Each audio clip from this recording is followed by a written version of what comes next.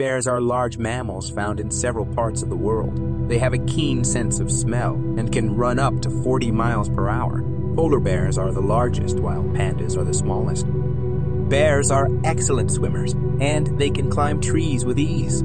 They also have a unique hibernation ability, where they can survive for several months without eating or drinking.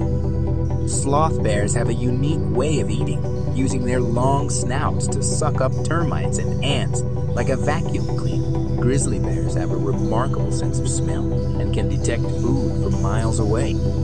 Sun bears have a long tongue that they use to extract insects from tree bark.